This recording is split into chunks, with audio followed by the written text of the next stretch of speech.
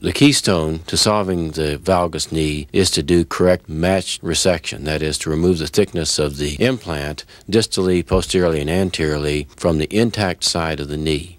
And then the second most important issue is to correctly align the surface cuts on the femoral and tibial sides with reliable anatomic landmarks. The valgus knee is made valgus generally by collapse of the lateral femoral condyle. The tibia stays out of the anterior posterior plane throughout the flexion and extension arc. The femur remains the keystone for alignment in the knee. The anterior posterior axis still passes through the femoral head and is still perpendicular to the epicondylar axis in flexion and extension. Now let's look at this valgus knee.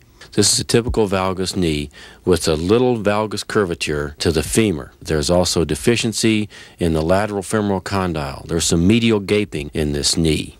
Now let's look at this knee a little bit closer.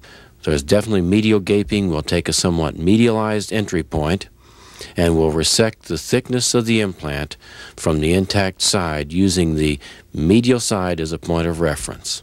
The thickness of the implant has been resected from the medial side, and in some cases, nothing is resected from the lateral side.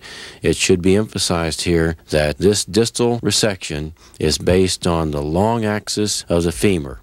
Long axis of femur is used as point of reference for valgus alignment of the distal femoral cut. That makes the distal femoral cut parallel to the epicondylar axis and perpendicular to the long mechanical axis of the lower extremity that goes through from the femoral head through the knee and through the ankle.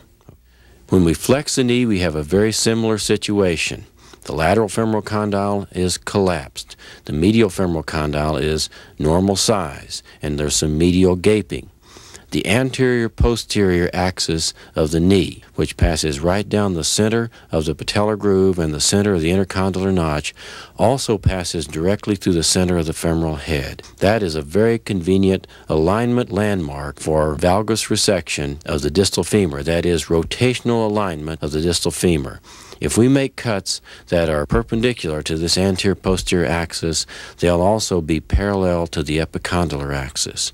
That gives us a joint around which we can reconstruct the knee. So we draw the anterior posterior axis and then cut perpendicular to that anterior posterior axis, removing the thickness of the implant from the medial side. Much less than the thickness of the implant is resected from the lateral side. Then the tibia is cut perpendicular to its long axis. This leaves ligament contractures on the lateral side, and the posterior flexion space is then made parallel by ligament releases, not by resection of bone surfaces. Now that we've released the ligaments, we now have parallel bone surface cuts on the posterior surface of the femur and on the upper surface of the tibia. This places the anterior posterior axis back in its normal position. It places the patella directly in the anterior posterior plane of the knee. It places the surface cuts of the knee in flexion parallel to the epicondylar axis, and it corrects varus valgus malalignment of the knee in flexion. Now the long axis of the tibia is directly in line with the anterior posterior axis of the femur. It's also perpendicular to the epicondylar axis the mechanical anterior posterior plane of the lower extremity now contains the anterior posterior axis and also contains the long axis of the tibia, as in a normal situation. If we use the posterior femoral surfaces for rotational alignment or varus valgus alignment of the knee in flexion, here's what results. The AP axis is now tilted relative to the mechanical axis or the AP plane of the lower extremity. The patellar groove is medialized, requiring extensive lateral patellar release to place the patella in the correct position in the flexed knee. The joint surface is no longer parallel to the epicondylar axis and is no longer perpendicular to the anterior posterior axis and anterior posterior plane of the lower extremity. This is an example of an x-ray done using that technique, the posterior femoral surfaces, for rotational or varus valgus alignment and flexion. The patellar groove is medialized and the patella has fractured and is now draped across the lateral femoral condyle. When we extend the knee with this internal rotational malalignment of the femoral component, it's apparent that the patellar groove is medialized, the Q angle is excessive, and that the patella will track poorly. The patella normally wants to ride right along the lateral edge of the femoral condyle, and it will sooner or later seek that position if the femoral surface is malrotated internally. This is the same example of the knee shown previously in full extension. The femoral component is internally rotated, the tibia is correctly rotated. The patella is clearly subluxed laterally in extension as well. Now let's take a look at this clinical case. This knee has approximately 15 degrees of valgus, somewhat loose on the medial side. When we flex the knee, the patella is located laterally, but that's because of lateral collapse of the femoral surface. The entire femur is now tilted laterally relative to the long axis of the tibia and relative to the anterior posterior axis of the lower extremity. Let's draw that anterior posterior axis of the femur. The AP axis is constructed from a point on the lateral border of the posterior cruciate ligament and one in the deepest part of the patellar groove. When we connect these two points, we have the AP axis and then a perpendicular to that which represents the epicondylar axis.